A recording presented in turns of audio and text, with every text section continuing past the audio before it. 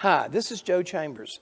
Thanks for watching Musicians Hall of Fame Backstage Vault Series. The Vault Series is a series of interviews that we shot starting back in 2004, two years before the Musicians Hall of Fame and Museum opened to the public. If you like what you see, please be sure to hit like, subscribe, and the notification bell so you don't miss any of our new content. Thanks for watching. Today's clip is with Bill Carson, longtime Fender employee. Bill gives his impression of what Leo Fender was really like as a, as a man and as a businessman, and the impact that the Fender Stratocaster had in all continents that produced Strat copies, even without permission from Fender. Uh, he felt like it was a, the right thing to do to, to let them make those instruments, and you know, it fed and clothed a lot of kids in a lot of places. Hope you enjoy it. I watched a, a, a History Channel show yesterday uh, showing the birth of motorcycles, how they how they got started, where they went, and in the in final analysis, the guy said that Harley Davidson and the Fender Stratocaster are the two most knocked off items in the world. So it, it gets play all over. There's a Music Expo in Seattle has got got a shot of this the same thing on the birth of the Stratocaster, and I used to complain to Leo about the Japanese and others that were just taking us to the cleaners on cheap knockoffs and what was our uh, original ideas. And, and he said, if you think about it, and think of all the kids that are going to school being fed and clothed and mortgage payments made, house payments made, and car payments made, of all the people all over the world that are enjoying the benefits of that strategy, said, you'll change your mind. I, never thought about it in, in, that conception, but that's the kind of man that Leo Fender was.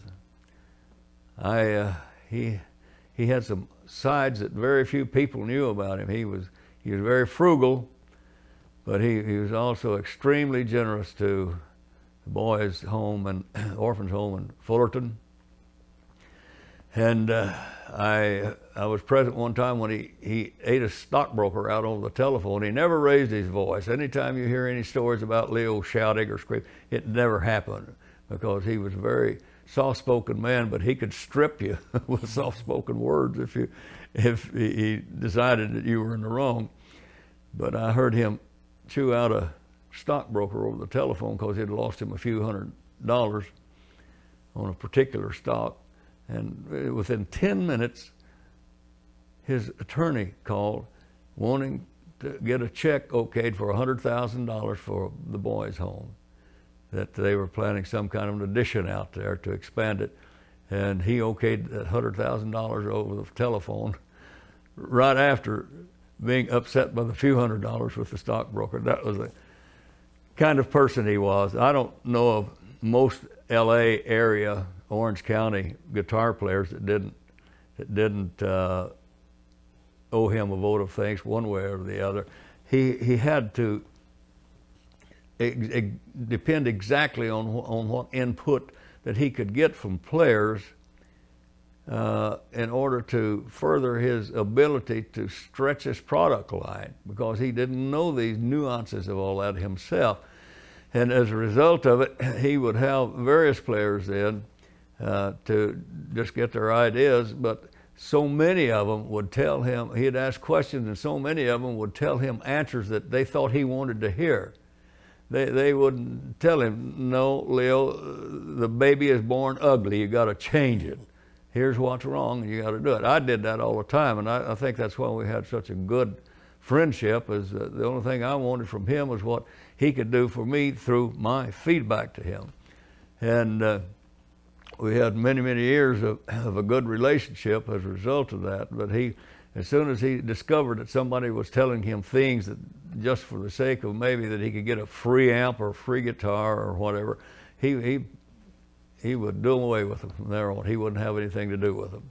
He worked seven days a week and almost around the clock. You go by that plant, drive by the plant on Sunday, anytime in the early afternoon or morning for that matter, you'd see his old Chrysler's parked down there by the lab.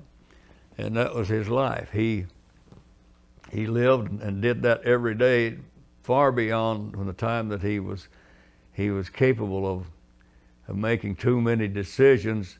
He still felt the need to work. He would endlessly take a breadboard model of a guitar, which would be just a, a lapboard model like this, and it might have a first and a sixth string on it, and he'd have movable pickups to where he could pick a string and move it, listen to it.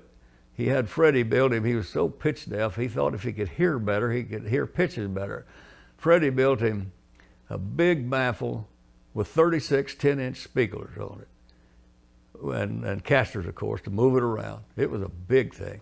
And he would pick that string, watch, watch an, an electronic instrument, and slide that, that pickup back and forth. He did that endlessly to the last part of his life, I'm talking about, because finally, shortly before he died, he came home and told Priscilla, his second wife, uh, I've done all for the musician that I can.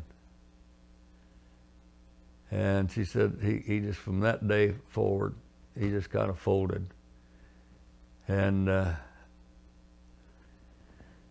when he died, I think that the whole musical world had the recognition of one of the greatest men ever to make contribution to the music industry. There was a, a period of time that I understand that they were actually thinking about discontinuing the Stratocaster. That's true. That's true. The, Stratocaster and the Telecaster. At that time, I was I was in charge of, of uh, production for a short period of time because we were looking for a, an operations manager, manufacturing manager, and uh, I got put into the position. I, I, my off, I had two offices in, one in Fullerton and one in, in uh, Santa Ana, where sales were.